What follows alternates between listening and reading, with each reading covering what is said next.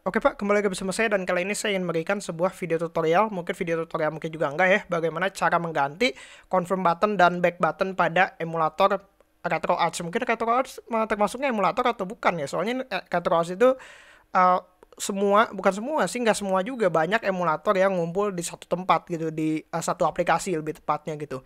Dan di sini kita akan mengganti uh, tombolnya yang antara X sama bulat gitu. Mungkin kalau kalian uh, kebanyakan atau mungkin keseringan main game PS gitu atau mungkin main game Nintendo Switch biasanya untuk confirmnya itu uh, bulat ya karena itu mungkin uh, konsol Jepang gitu. Kalau yang region Amerika biasanya untuk yang confirmnya tuh X dan saya jujur kan biasa gitu untuk yang confirmnya X walaupun saya juga sering banget sih main Persona 5 gitu yang uh, versi barat atau yang Jepangnya pun saya main gitu dua-duanya.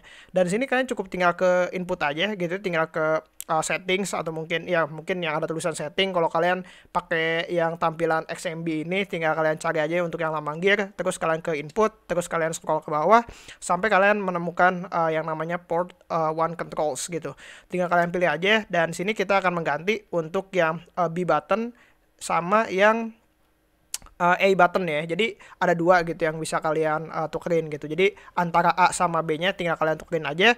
Untuk defaultnya ini uh, confirmnya itu menggunakan X gitu atau mungkin menggunakan uh, satu untuk yang uh, yang backnya itu adalah dua gitu. Jadi saya tukerin yang confirmnya jadi dua yang backnya jadi satu gitu. Dan dan tinggal kalian pilih aja sih untuk tombolnya gitu menggunakan confirm button dan tinggal kalian uh, pilih aja gitu untuk tombolnya. Misalnya uh, yang A buttonnya adalah dua misalnya atau yang uh, B buttonnya adalah uh, satu gitu.